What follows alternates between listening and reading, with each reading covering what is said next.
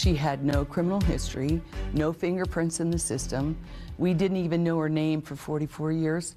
Where do detectives even begin to start asking questions? Hi everybody, welcome back. And if you're new, welcome. My name is Gabby and I'm so happy to have you here. If you've never been here before, never watched any of my videos, have no idea what I do, I cover true crime cases and all the cases that I cover are a little bit older. They're all basically 20 years or older. So if that's something that you might be interested in, maybe go down below, click that subscribe button and also make sure to turn on the post notifications to be notified every time that I upload. So today we're going to be going over a case out of Las Vegas, Nevada. We have definitely covered a few cases out of Las Vegas before, now that I think of it. It's not an area with a low crime rate, but surprisingly, it's an area with a lower crime rate than other cities with a similar population size but its crime rate is higher than the national average. We are going to be taking this one though back to 1979. Las Vegas in the 1970s was relatively close to how it is today, a vibrant and exciting city that attracts those who love entertainment. It is a thrilling destination for those who want a taste of the high life. Although the city is full of energy with its flashy neon lights you can see for miles, it also possesses a much darker side. August 14th of 1979, around 9 p.m., a lone man stumbled across the remains of a girl. Her lifeless body was found lying face down in an empty lot at South Las Vegas Boulevard and East Sahara Avenue. This was where the old El Rancho Vegas Hotel and Casino once stood. The man who found her was just walking through the area when he saw the girl lying in the dirt the Las Vegas Metropolitan Police Department would be the ones put on the case. She had absolutely no form of identification on her, so she was classified as a Jane Doe. The Clark County Coroner's Office determined, after conducting an autopsy, that she had been deceased only a few hours before being found by the man that night.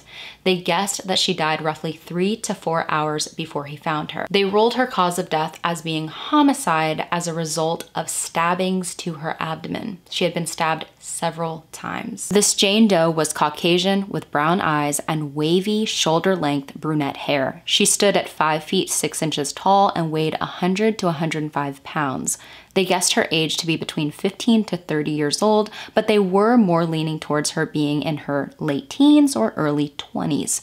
Her nails on her feet and hands were recently manicured and painted red. She had been wearing blue denim hip hugger style Levi's jeans. Her top was a light blue green button up with sequins and red floral embroidery that tied at the bottom. No shoes were found anywhere near the body, and it was obvious that whoever was responsible had taken some of her clothing with them. It didn't seem like her outfit was complete. Even if you look at the shirt she was wearing, it seems like possibly she may have been wearing an undershirt. The jewelry found on her included a white metal chain with a plastic heart pendant with a rose on it, a white metal chain with a uniquely designed pendant containing a turquoise stone, and a white metal plain ring that had been on her right hand. She was not wearing any earrings, her ears had never been pierced. Like I stated before, they believed her age to be between 15 to 30, but even if she was on the older side of that estimate, they were shocked to discover that she had no teeth. All of her teeth had been pulled and she was wearing dentures, but only on the top not the bottom. She had a maxillary piece on, a mandibular piece was nowhere to be found. Could her killer have taken this as a souvenir as well? That is possible. They believe that her teeth had previously reached a point of being unsalvageable and she had to result in getting them all pulled. Sometimes a person's teeth can suffer greatly during pregnancy for many different reasons, even just simply a pregnant woman craving more sugar. But it didn't seem like this Jane Doe had ever given birth before. They theorized that she could have been walking around barefoot, but in my personal opinion, this was Las Vegas in August. The ground would have been excruciatingly hot I'm sure that she possibly was wearing shoes and the killer maybe took them with him as well. Based on her clothing, primarily her shirt, they believed her to possibly be from Florida. I'm not entirely sure how they landed on Florida out of every sunny southern state, could have been the actual style or brand, but they guessed Florida. Some of her clothing was missing, which usually goes hand in hand with a sexual assault, but it did not look as if this Jane Doe had been sexually assaulted in any way. If sexual assault was not the motive and some of her jewelry was left behind, ruling out robbery, then what was the actual motive? Was it simply one of those situations where someone had a goal to kill, to feed the urge to take an innocent life? That could be. As Lieutenant Jason Johansson of the LVMPD would tell WCPO 9 News in 2023, one of the key components of a homicide investigation is knowing who your victim is. If you want to get a background and a story of who someone was with, where they were supposed to be, how they ended up there, it all starts with identifying the victim. That was their goal, and the department started by scouring Las Vegas for any clues as to who she could have been in life. It did not seem like anyone in the area knew her actual identity, but they did come across one person who reported that they saw her in the area not long before her murder. A female clerk reported seeing her at their liquor store only about an hour or so before what is guessed to be her time of death. This liquor store was not far from where she would later be found but she wasn't at the store alone. On the screen is a composite sketch of what the man looked like who was spotted with her. There was only one singular man she was seen with. The man was Caucasian, thought to be roughly 28 years old, stood at about 6 feet tall, guessed to have weighed around 165 pounds, had a thin build, brunette hair, and a prominent mustache. The clerk stated that she noticed he spoke softly.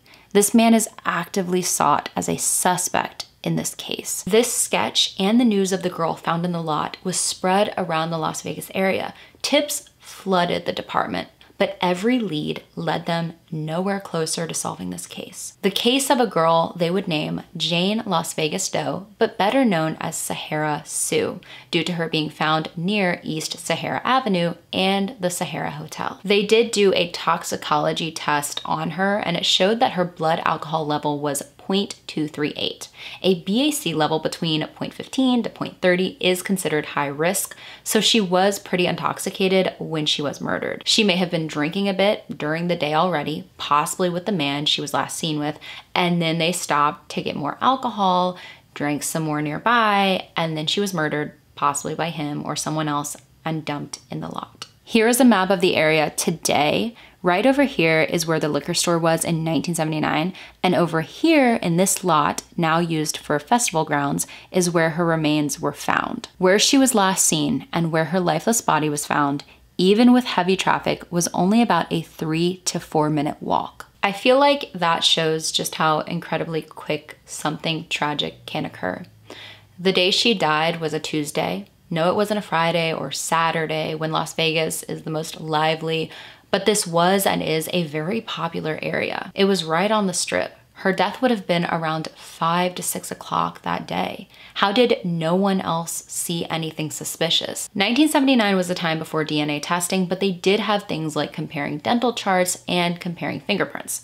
She wore dentures, so dental was out of the question, but they were able to collect fingerprints from her. Unfortunately, her prints never matched any prints that they had in their national database for people with criminal charges, so it was never believed that she had a criminal history. She would be laid to rest in Woodlawn Cemetery in Las Vegas, where she would remain until the year of 2003 when her body was exhumed so they could collect DNA from it. There would be really no updates in this case between the years of 1979 when it happened and 2003.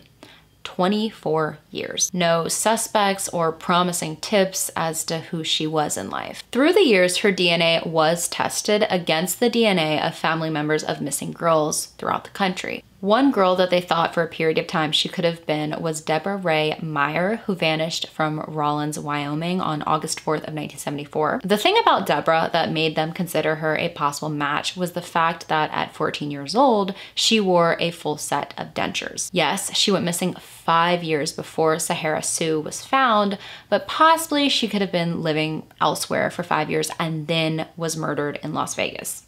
The DNA comparison came back negative though. Deborah was not Sahara Sue. Deborah is still missing to this day, and Royal Russell Long is considered a suspect in her case. Royal Russell Long pleaded guilty to two counts of kidnapping and was sentenced to two life sentences for it. One of the girls managed to escape and one has never been found. He is suspected though as being involved in quite a few other disappearances and possible murders, but those have never been proven. Through this method of DNA comparison, Sahara Sue was ruled out as being at least seven missing girls. As technology advanced through the years, they hoped that one day the right method would come along that would finally give her her name back. Multiple reconstruction photos of her had been done, including two released by the National Center for Missing and Exploited Children and two done by forensic artist Carl Koppelman, one in 2015 and the other in 2016. These photos were each time spread across the internet in the hopes that someone would recognize her. A few new updates would occur in the year of 2016. Pollen on her clothing was tested to see where she had possibly spent time before her death, and it showed that she had spent time in Napa Valley and Central Valley in California. Forensic palynology or isotope testing, though, is never 100% correct. This method has been done so many times before in cold cases, especially Jane and John Doe cases, to see where they may have come from or what areas they traveled through. And a lot of the time, they concluded that they came from this or that area. And after they're identified, they discover that they never actually spent time in that area at all during their life. During this same year, a new lead would come into the department. It stated that the girl may have lived in a local trailer park, a trailer park located on East Lake Mead Boulevard in Las Vegas that she possibly worked at a Holiday Inn or other motel on Las Vegas Boulevard and went by the name Shauna, either spelled with a U or W. Now, this sounds like a very detailed tip, like whoever called in regarding it may have known her and remembered her from back in the day. But unfortunately, again, this one went nowhere. Six years later, though, in 2022, they decided to go down the route of genetic genealogy. Genetic genealogy is the process of extracting DNA, sometimes they already have the DNA on file, creating a solid DNA profile from it, and entering that DNA into a genetic database to locate familial DNA. Try to locate the closest relative to the person to hopefully find out who the person is or was. The department decided to work with Othram Incorporated, an American corporation specializing in forensic genetic genealogy. Othram was able to locate some close relatives of the victim and sent their findings over to authorities to continue in their investigation. They spoke to relatives and discovered that these relatives had a loved one who vanished back in 1979. An official DNA comparison was done between the suspected relatives and the Jane Doe, and it was a match. She was positively identified on November 15th of 2023. On December 19th of 2023, her identity was released to the public. After 44 years, Sahara Sue got her name back. She was Gwenn Marie Story of Colerain Township, Hamilton County, Ohio, just outside of Cincinnati. There has been a little bit of her backstory released to the public, but not much. She had been born on February 23rd of 1960, so she was 19 years old at the time of her murder, and her entire reason for even traveling at all was to locate her biological father, Charles William Buffington, who was living in Southern California at the time. She left her hometown saying goodbye to her family in the summer of 1979. She did not leave alone though. She wasn't just hitchhiking with random people. She left with two male friends of hers. After she left town though, her family never heard from her again, not by letter or phone call. These two friends returned to the area in August, the same month Gwenn was murdered, and they told her family that they left her in Las Vegas. Terry Miller, an investigator with the Las Vegas Metropolitan Police Department, stated that they are unsure if the man who was seen at the liquor store with her was one of her friends that she left Ohio with. The last thing that we really know about this case at the end of last year is that they are still searching for the two male friends of Gwenn's that she left with. Sources state that authorities do not have the names of the two men. This could be due to the family not knowing their names or simply forgetting them over time. So, not only are authorities asking the public to help them identify the man that she was last seen with, but also the two men that she traveled with and returned home without her. This is in no way to cast blame on two people that could be completely innocent, but it is extremely coincidental that she was murdered in the exact city she was left in.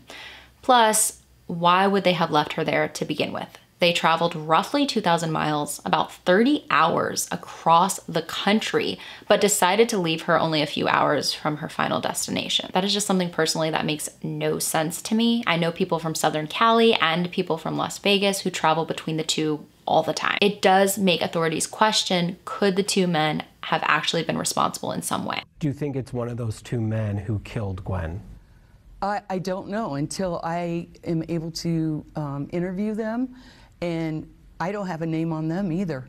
So uh, we're at the very beginning stages. Could one of these men be the man that she was seen in the liquor store with, and maybe the other man just stayed outside while the two grabbed liquor? We don't know. From my findings, none of her family members have been able to verify if the sketch of the man resembles one of the two men that she left Ohio with. If one of these two men were responsible, why would they have taken her life all the way in Las Vegas and dumped her body on the strip, a place where it obviously would have been found quickly. Had they planned to take her all the way to California and some sort of altercation happened, a drunken altercation, and one of them stabbed her to death? Obviously, at this point, we can't say for sure. It could have been one of those situations where they were going to simply just drive through Las Vegas, but then they decided to spend a little bit of time there since it's such an exhilarating place. She could have told them that she wanted to spend a little bit more time there and that she was going to hitchhike the rest of the way to California, and they left her there, and then not long after, something happened to her. Again, we don't know. It's just very odd. Gwenn's family released a statement to the public in which they said, Finally, after 44 years of not knowing what happened to our sister Gwenn Story, we have news that she had been identified. We are looking for some closure on this case. Our family just wants some answers. We would really appreciate the help.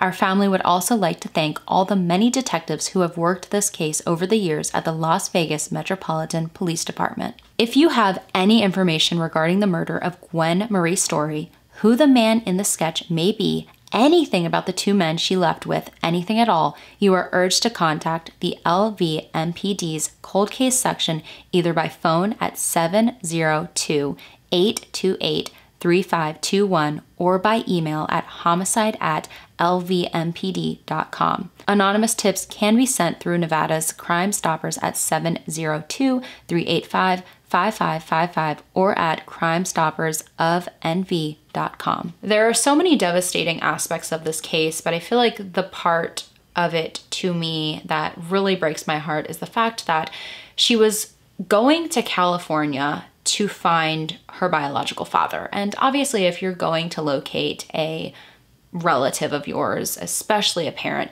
you are feeling like there is a piece of your life that is missing. This girl lost her life while searching for a piece of it. Even if these two men that she traveled with had absolutely nothing to do with her actual murder, they may still hold the key to solving it. We have no idea if this man that she went to the liquor store with was somebody that she was hanging out with previously. The two men who went back to Ohio could have met him at some point. They could have just never went to police regarding it because they did not know that she had been murdered not long after they left her there. I hope that more can be discovered regarding this case very soon. It has been long enough. And if you do live in Las Vegas or the Cincinnati area, I do urge you to possibly share some information regarding this case because you never know, it may get to the right person. But thank you all for taking a little bit of time out of your day to hear about Gwenn's case. If there are any other cases that you possibly want me to cover here on my channel, make sure to send those over to Gabulosis case requests at gmail.com.